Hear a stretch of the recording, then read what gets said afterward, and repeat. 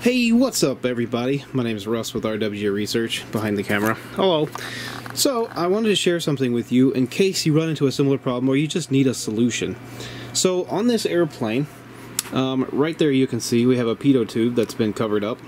So this has an airspeed sensor. Uh, the airspeed sensor we're currently using is an MS4525DO. Okay, that's the airspeed sensor. Now, that airspeed sensor is embedded in the end of that wing way out there, and we have cables running to the front here.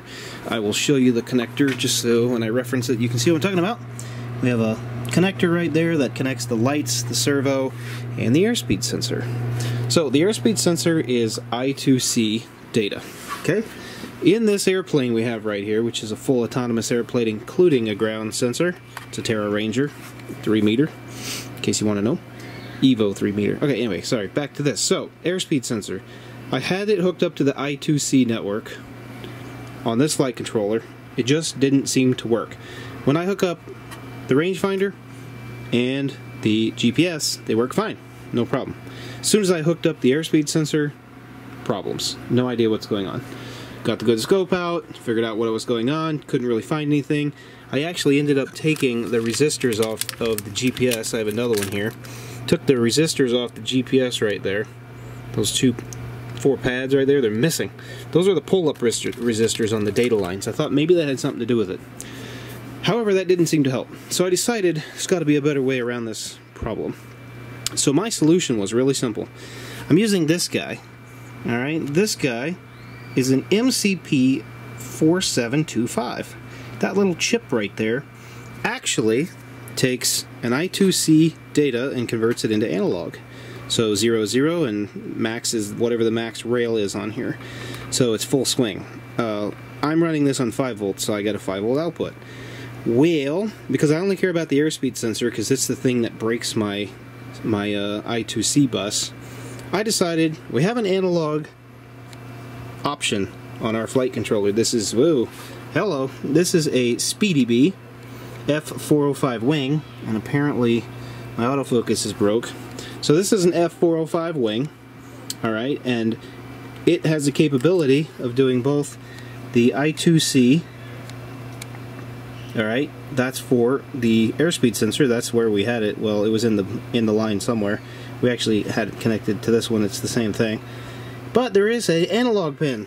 Ooh, the camera is whacked out. I have no idea why. Sorry. The camera airspeed sensor. The airspeed sensor just didn't like being on the network. It screwed everything up. It actually worked perfectly fine, however the compass quit sending data, or couldn't read it or something, even though I checked the data using a picoscope, which is used to sit here, and I, it, it didn't work. So a simple solution. What is the solution? Well, I wrote some code, and it uses the libraries.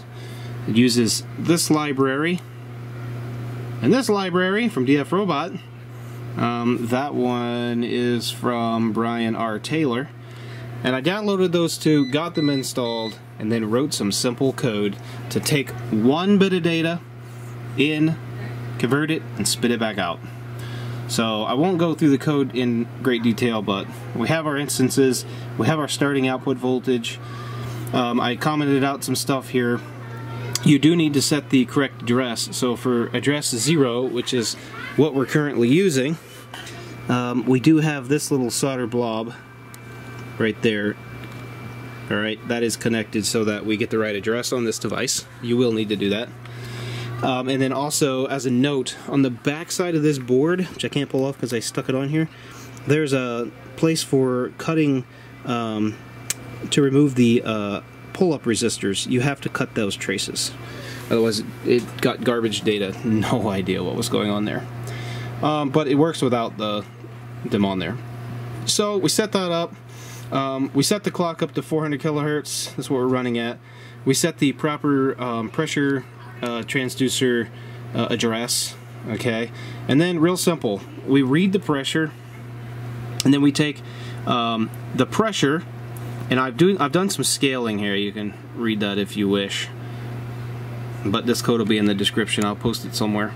Um, so absolute, because sometimes it's a negative number, so we want to take the absolute pressure, we're going to multiply it by 5, and we're going to subtract um, some offset.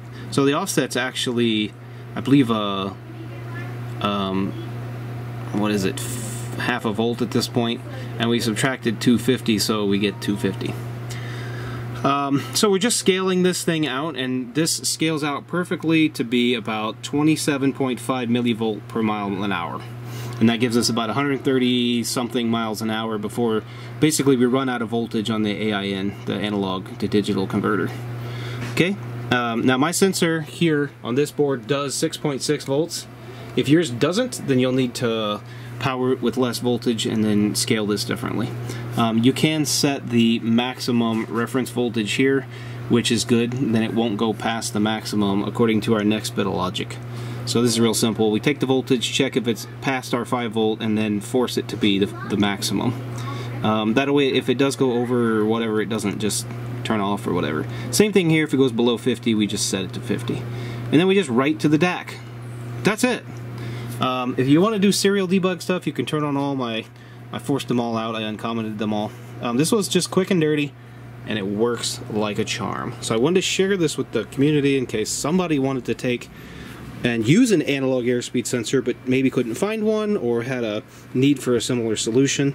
Um, if you want to know more about this plane, there will be lots of videos coming out. The whole goal behind this plane, to get people interested, if you want to know, who normally watch my channel, we want to autonomously take off, fly a pattern, and land this airplane repetitively and make it able to do that. Now this is a weird airplane to do that because it is a symmetric wing and the thing really like really really really has to fly pretty fast uh, to be stable. Um, start stalling at about 11 meters a second which isn't necessarily super slow.